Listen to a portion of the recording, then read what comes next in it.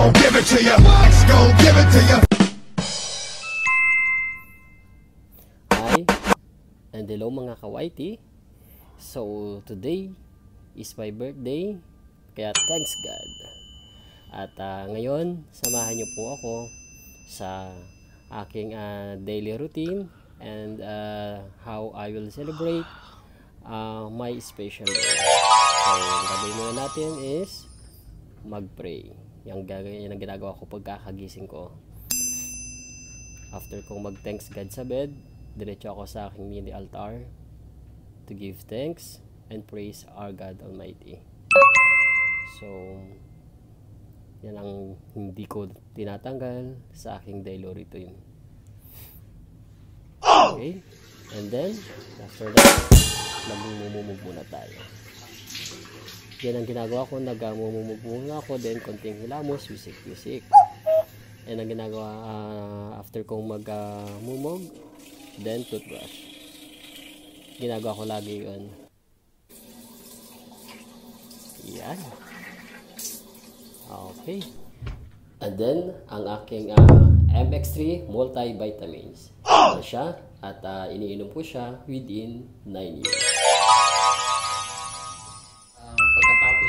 Kong ah, mag-pray, mag-toothbrush, uminom ng vitamins with MX3, mag-breakfast naman tayo. So, normally nagiging breakfast ko is brown bread. Um, pero since birthday ko naman ngayon, so magba-brown bread tayo at um, mag-i-indomie. Wow! Hindi siya basta indomie, so special siya. Ang pinagkaiba ng indomie na to sa regular na ito yung sauce nito. Papakita ko sa inyo later. At um, hotdog, chicken hotdog. And of course, dahil birthday, maglalaban tayo ng brown egg. Habang naglalaban tayo ng ating brown egg, gagawin po natin ay initan tayo ng tubig. Ginagawa mo. Coffee. Sabay-sabay natin siya lulutuin. Natin dito yung indomie. Tapos dito, lulutuin na natin natin brown bread. Ayan. Ito yung brown egg natin. Dito natin lulutuin ng indomie. And uh, of course, dito natin lulutuin ang ating brown bread. Yan ang ating itlog. Ayan, nilabong uh, hotdog at saka itlog. At habang pinapakulo natin ang ating indomie, syempre, gagawin na natin ang ating soy sauce. Titimplay na natin siya, pag-halo-haloin na natin siya. Iluluto lang ating uh, fried uh, egg. Walang ngayon dalawa dito.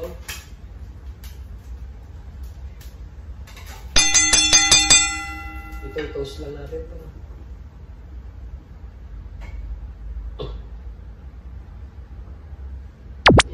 Yes, ito toast lang natin ito. ah, bread. Pag binalikan natin siya, press-press ulit. Ito yung normally na breakfast ko. Ah, brown bread with egg. Yan. of course, using ah, olive oil at ah, black coffee. Tapos sinasama ko lang siya ng cereal. Since ngayon birthday ko naman, tanggalin na natin ang cereal at palitan natin ito ng indomie. Pansit din yan. So, papakunin lang natin ito ng mga 2 minutes. Then, pwede na. Kasi gustong gusto ko kasi sa kuan, ah, bread, toasted na toasted siya. Kaya medyo patagalin lang natin ng konti. Special sauce. Yes, uh, luto na tayo ng brown bread. Dami, medyo luto na rin siya. Ayoko kasi na masyadong uh, lutong-luto. Gusto ko kasi dito medyo half cook lang. So pwede na natin siyang hanguin. Ready na natin sauce. Hindi ko na siya sinasala. Diretso lang ganyan kasi hindi ko siya pinuputol. So kaya mas madali siyang para mas madali siyang ilipat. Hango lang. Yes. Haba. So, halo-halo lang natin to indomie. Okay na indomie natin. So, hanguin natin natin itong ating brown bread.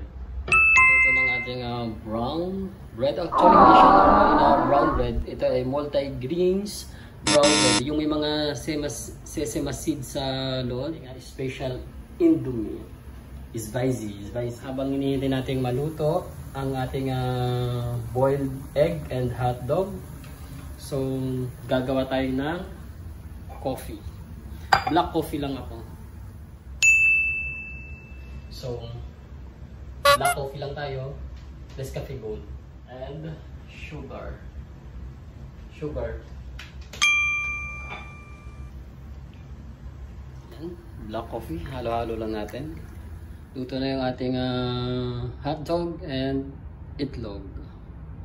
So, ready na ang ating breakfast. Ay, ready na ang breakfast natin. Ah, black coffee with uh, special into me, sis birthday ko. And then, ang ah, boiled na hot chicken hotdog, brown bread na multi-grains, and of course, ang boiled egg. So, heavy na sa akin to. Heavy breakfast.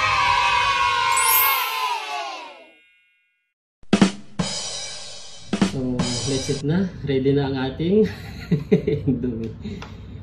Happy birthday to me. What? Happy birthday, Indomie. O, diba? Oh, no! At least, pansit pa rin to. Special.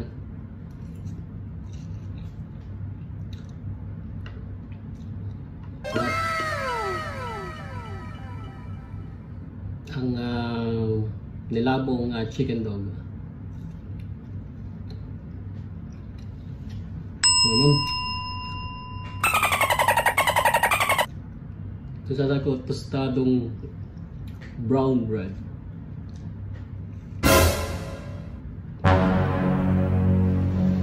Tapos kape.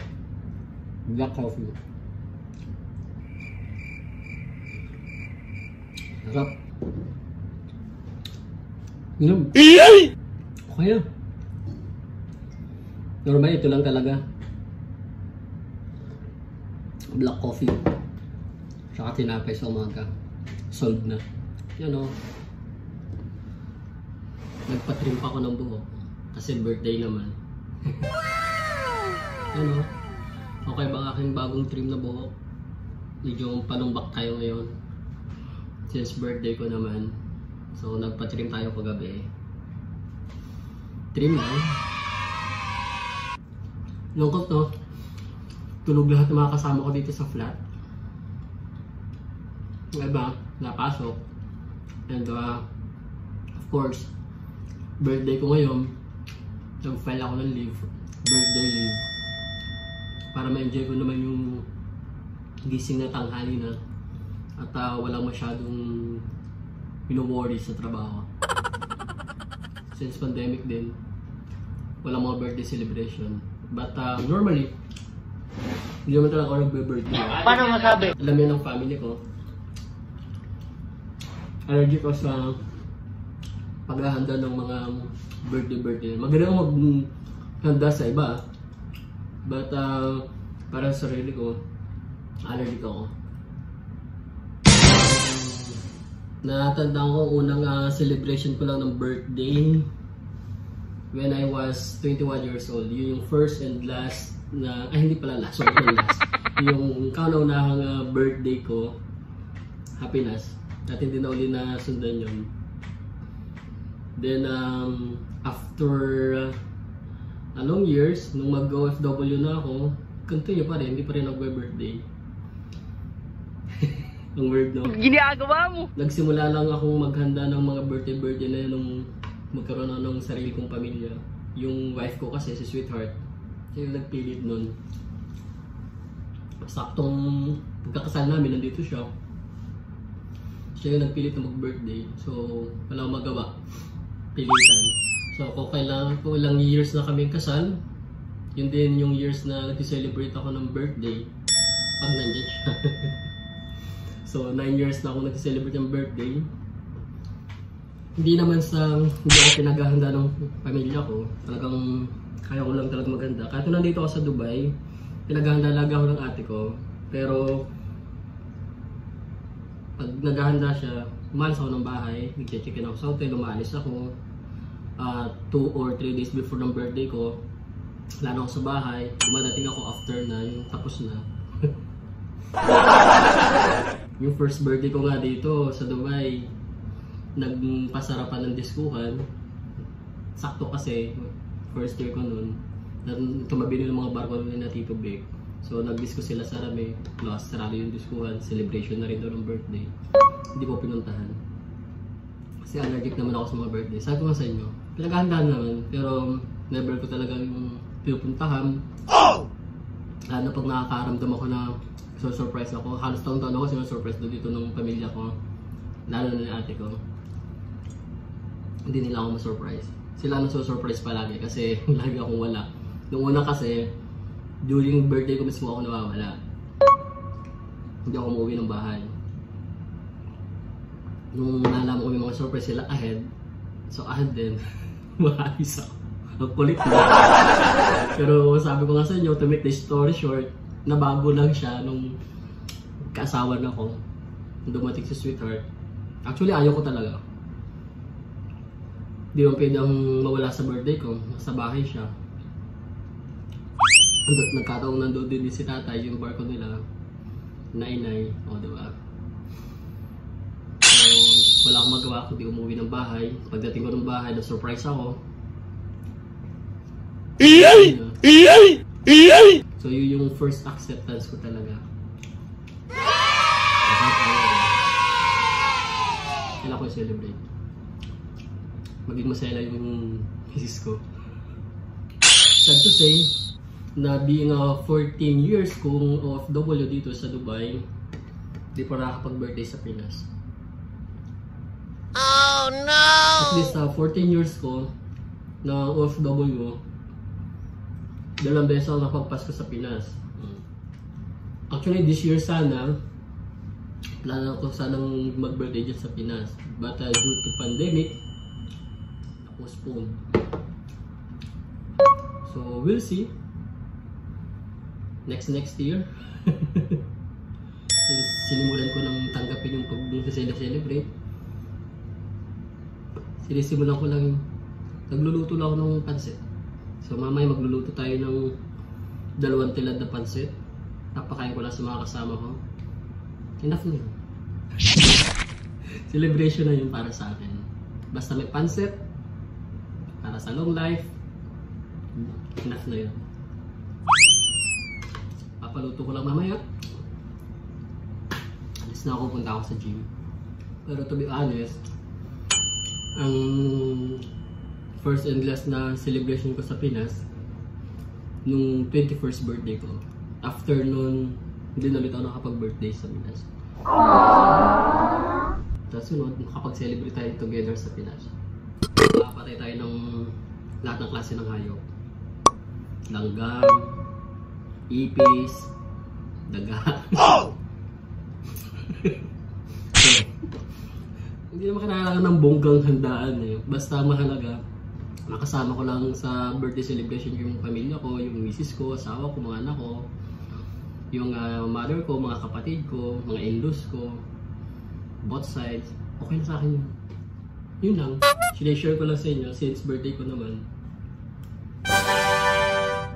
Kaya yung mga kaibigan ko dyan, out there, dito sa Middle East, tsaka sa Pinas, na nag-aantay ng celebration, huwag na po kayo maghintay. Ma... Mamumuti lang yung mga mata kasi alam nyo naman hindi ako nagsiselebrate. Denied. Greetings! Sobra-sobra na sa akin yun. Masaya na ako sa mga greetings ninyo. At saka sa panibagong buhay. Everyday na gumigising tayo. It's a blessing. Sa akin yung maging malakas ang pangatawan at nakakamuong pamilya. Masaya palagi. Safe, ligtas, mabang buhay. Gumigising kayo araw.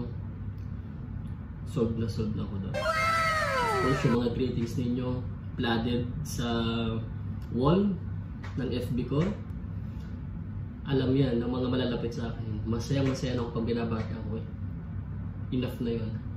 Anyway, maraming salamat ulit. Tapos yung ko lang ito kinakain ko. See you later! At pagkatapos ating kumain, ah, inom tayo ng ah, multivitamins to boost our immune system. Isa yan sa hindi ko tinatanggal sa aking everyday life. Okay. Hello, so ito magluluto si Bebe ng pansit pusit.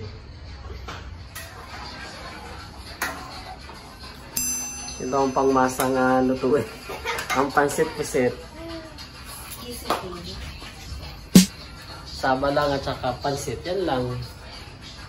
Hmm. Solve na ang handaan.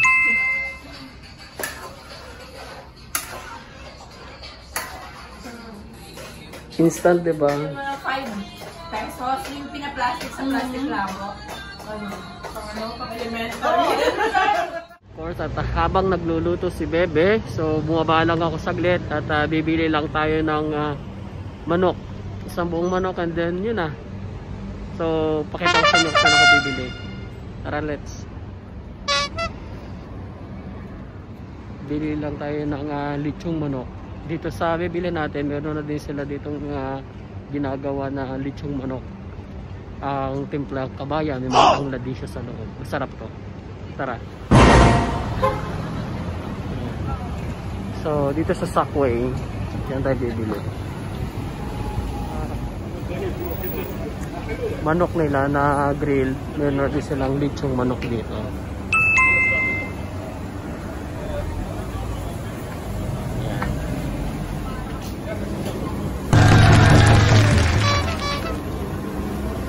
One lechong manok for me, my friend, ha? Chop chop. No, no, no, no. Only two piece. One piece only. Cut only. Ay, katundi yan. So, ganun lang kabilis. Ngayon, bit-bit na natin ang lechong manok. Then, pagkatapos ito, dadalhin ko lang ito sa bahay. Then, alis na ako. Punta naman ako ng gym. Naka-ready na nga ako pa wow! gym. eh. So, ito, gym naman tayo. So, habang niluluto nila yung paset, kumakain sila. So, gym lang tayo. Tatapusin natin ang araw sa pag-gym. Dahil sa maghapon na rin tayong kumain ng kumain. So, it's better na i-bar natin to sa gym. Ito tayo ngayon ng Reef Mall. Hindi ko na ipapakita sa inyo ang daan ah, kasi napakita ko na sa inyo dati yung ah, gym papunta sa Reef Mall. So, kita-kitsa lang tayo mamaya doon sa gym. wow! See you later.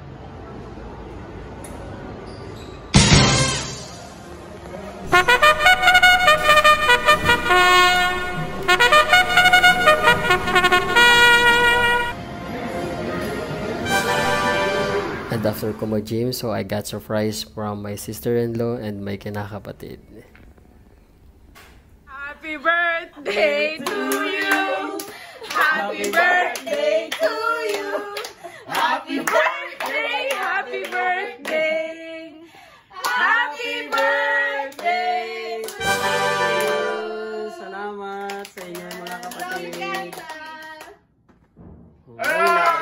Get the slicer. Thank you. Slicer.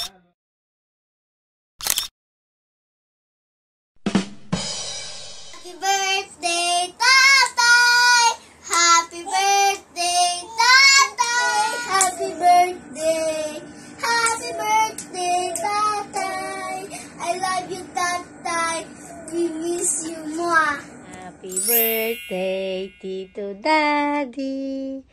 Happy birthday, happy birthday. Happy birthday, Tito Daddy. Kiss mo, Tito Daddy. Kiss. Ooh. Kiss nga. Happy birthday, Palay!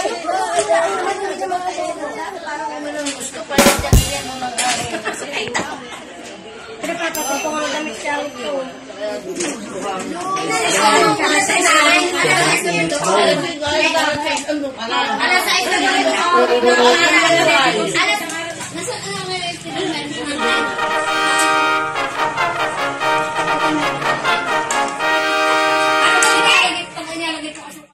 birthday! At ay kuya! Happy kanta na kayo! Happy birthday, Kuya! Adj, Admira. Happy birthday, tatay. Say happy birthday.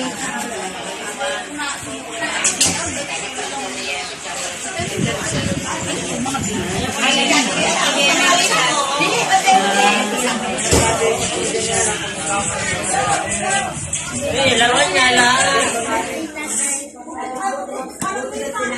Para si Mano. Hoy! Katawan